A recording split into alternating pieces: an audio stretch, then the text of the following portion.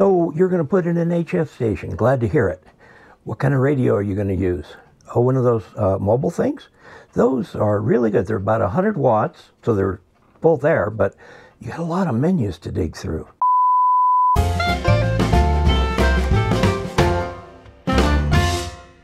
Hello, OGs Worldwide. I'm Dave Casler, amateur radio call sign KE0OG, Here is another episode of Ask Dave.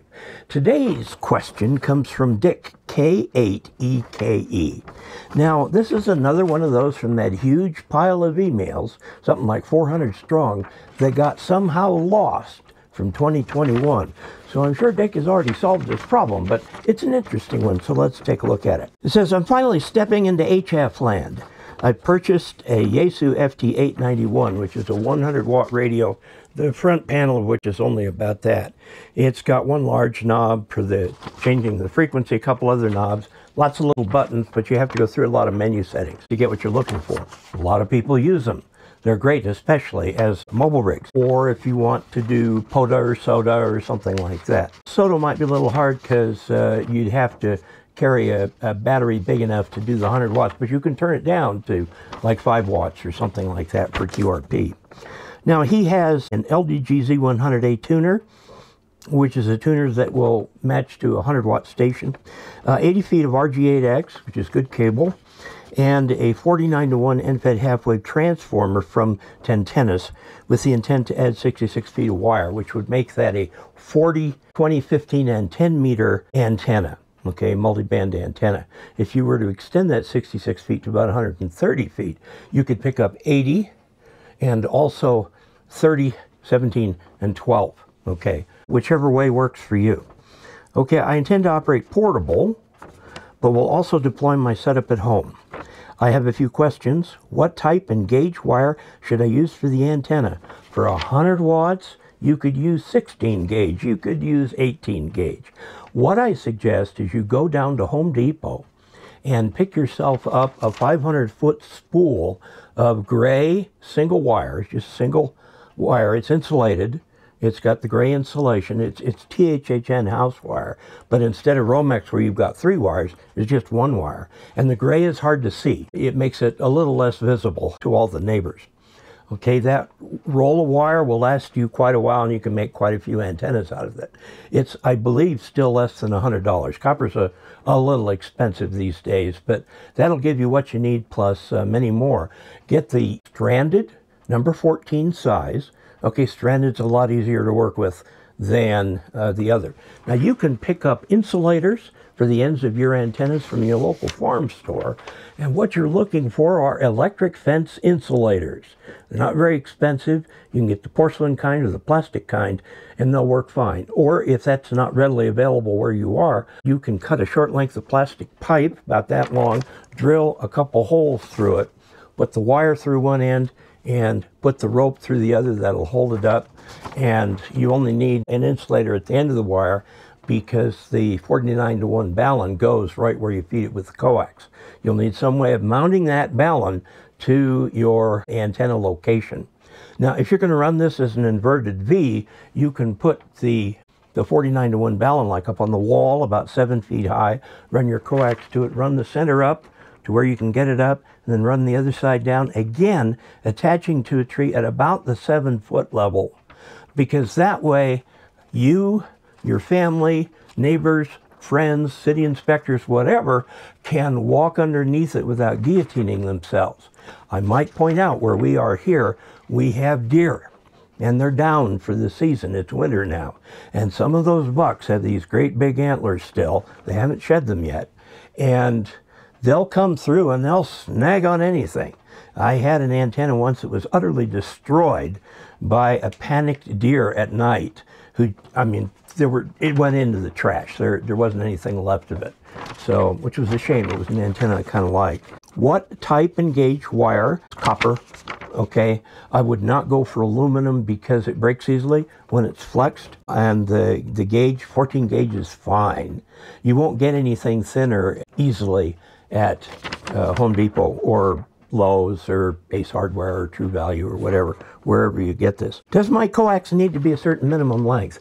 I recommend for end-fed half-wave antennas that you have at least about 30 feet of coax before you attach to where the lightning arrestor is. Now note, you're going to need another piece of coax to attach from the lightning arrestor, which is on your ground rod, and goes into the house at that point and then to the radio. So you can either purchase another length of coax, you can cut this one on, put connectors on. If you've never put connectors on before, I'd go ahead and buy the extra coax. The fact that you're going to be working mostly on HF, the extra few feet of coax that you've got out there just kind of on the ground, whatever, is not an issue. Okay, now I would run that coax down to the ground, along the ground, to your lightning arrestor. A lot of coax can be directly buried if you want, or you can put it in a length of plastic pipe, whatever. You can get direct burial coax that's actually rated for that. Otherwise, just lay it out in the grass or coil it up or something like that. If you, by the way, ever end up feeding an antenna with open wire line, you never want to coil it. It interacts with itself and not in a good way. But coax, all the signal is inside the coax, so it doesn't matter. How do I need an RF choke? You don't if you go through a lightning arrestor, because whatever is on the outside of the cable, so-called common mode currents, will be blocked where you have it connected to ground. Is chokes performance band specific? No. You can use for the choke if you've got about 25 feet of extra coax in there, which is pretty common if you've got 80 feet. Uh, just coil up 25 foot of it, about a one foot diameter. Put some cable ties around it, and that acts as the choke. It's so-called common mode choke, and it's just built out of the coax itself. You don't need to pay any extra. Or you can pay for the, the beads and all that sort of stuff, but you don't have to. Uh, you can do it with just a little extra coax. Now I note that if you do need that entire coax run, 26 feet of coax is going to be $30, $35 worth of coax. So it costs as much as buying the, the beads and all that sort of thing.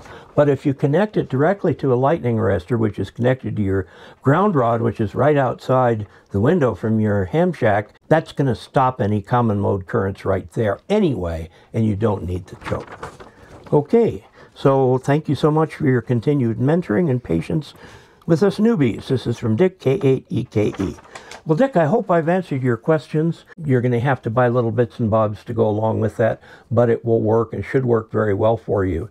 And 40 and 20, which are two bands your antenna will cover with 66 feet, is going to work just fine for you. Now, when you tune that antenna, you want to tune it kind of so that the lowest SWR is down kind of around the FT8 frequencies, okay?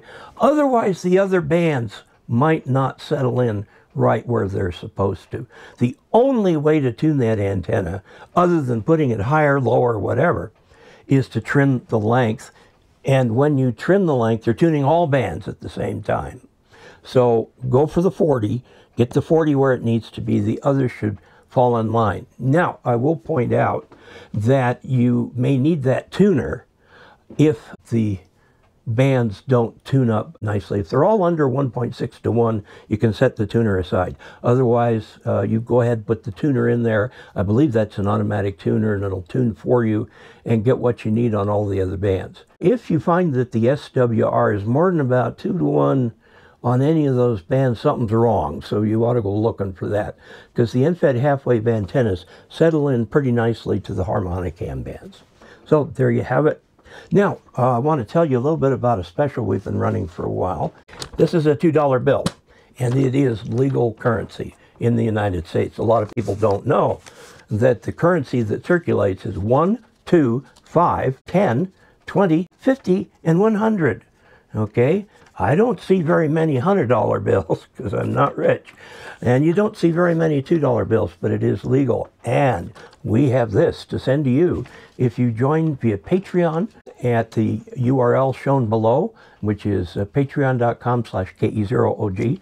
If you join that for the first time or you go up a level, we'll send you one of these, or also the same on PayPal. If you go up a level, we'll send you one of these if you join for the first time. Uh, we'll send you one of these. We just want to send you a little tangible thank you. Most $2 bills aren't used very much, so they're very crisp. And something you can show off to your friends and say, hey, I got this from KE0OG, and all I had to do was join his Patreon for $2 a month, or whatever you choose to do. There you have it. Until we next meet, 73.